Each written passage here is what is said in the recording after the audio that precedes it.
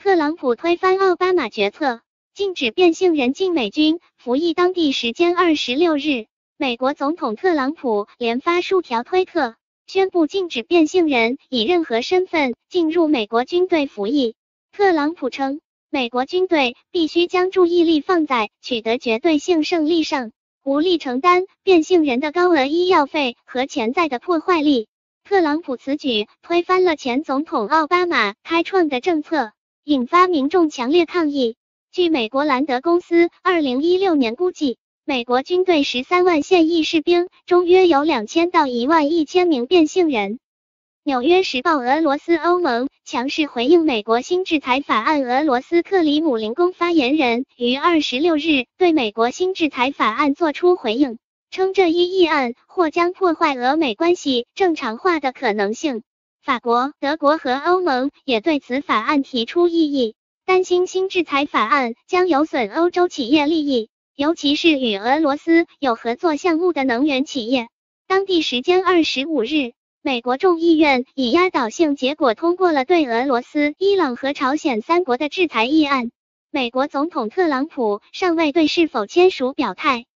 CNN 以色列遵守承诺，全面拆除圣殿山安检设备。当地时间二十七日，以色列遵守此前承诺，将耶路撒冷圣殿山的金属门等安检设备全部拆除。巴勒斯坦居民在阿克萨清真寺外欢庆。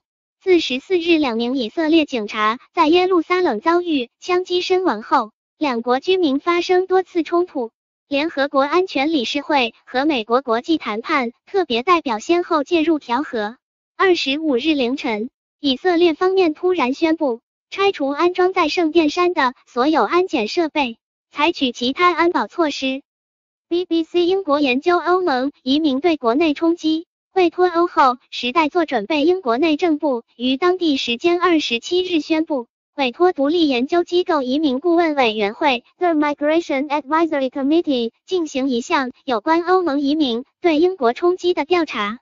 据悉，此次调查主要涉及欧盟移民对英国劳动力市场的影响，以便针对不同领域制定英国脱欧后的移民政策。调查结果预计在二零一八年九月出炉。内政大臣博尔·鲁德 （Amber Rudd） 表示。英国将确保有贡献的移民前往英国，但同时降低净移民数量。汇报韩国法院审理文化界黑名单案，前政府高官被判刑。当地时间二十七日，首尔中央地方法院宣布，因滥用职权等嫌疑被拘留起诉的前总统秘书长金其春被判有期徒刑三年。韩国前文化体育观光部长官赵允璇被判有期徒刑一年。缓期两年执行。据报道，两人涉嫌一起制造了文化界黑名单，凡是被纳入黑名单者，均被禁止参与政府扶持的相关项目。法院认为两人罪行证据确凿，决定接受特检组要求，签发逮捕令。韩联社旅法大熊猫欢欢确认怀孕，将诞下首个法国熊猫宝宝。当地时间二十六日。位于法国中部圣埃尼昂市的博瓦勒野生动物园宣布，旅法大熊猫欢欢在接受超声波检查时被证实怀孕。据报道，欢欢预计于八月中上旬生下首个法国熊猫宝宝。大熊猫欢欢和伴侣元仔即将满九岁，他们在二零一二年被租借给法国，进行为期十年的中法大熊猫繁育合作计划。博瓦勒野生动物园发言人表示。熊猫宝宝将在诞生后二到三年内归还中国。好芬顿邮报威廉王子为王室尽责，辞去救援队职务。当地时间二十七日，英国王室第二顺位继承人剑桥公爵威廉王子辞去空中急救飞行员的工作，以便全身心履行王室职责。据报道，威廉王子自二零一四年加入东安格利亚空中急救队，至今已工作两年多时间。参与过多次急救。谈及这份工作，威廉王子表示非常荣幸能成为其中一员，并称赞了急救飞行员们对救护工作的贡献。